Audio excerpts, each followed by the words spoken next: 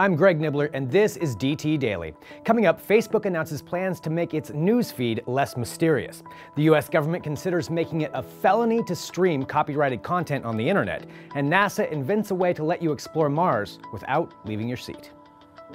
Facebook users have a long tradition of freaking out whenever the social network makes changes to Newsfeed, the website's central hub that is used by 700 million people every day. So to help ease the pain, Facebook announced on Tuesday that it will begin detailing why company designers and engineers make specific changes to the newsfeed on the Facebook business blog. According to Chris Cox, Facebook's vice president of products, the company hopes an increase in transparency about its design decisions will help users see how their needs are taken into consideration, and advertisers will better understand who sees their ads and why. As for actual changes to the newsfeed, Facebook announced that it would begin to surface older stories posted by your friends that you may have missed the first time around. The contentious Stop Online Piracy Act, or SOPA, is long dead, but a controversial component of the bill may soon make a comeback in Washington.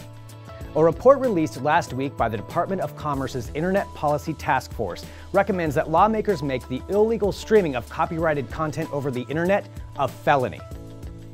At the moment, supplying an online stream of copyrighted content that you don't own, such as professional sports games or Hollywood movies, is only a misdemeanor. Critics have argued that increasing the severity of illegally streaming content on the web would turn musicians who post cover songs on YouTube into felons. Proponents argue it is the best way to put a stop to rampant copyright infringement online. Want to take a trip to Mars? Of course you do. And now, thanks to NASA and the Oculus Rift virtual reality headset, you can do just that all without leaving Earth.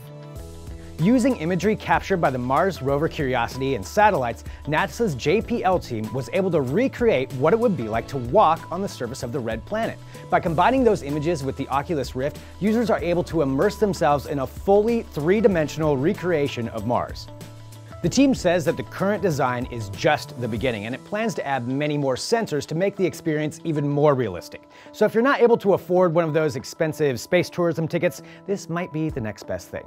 That's it for DT Daily today. We'll see you tomorrow.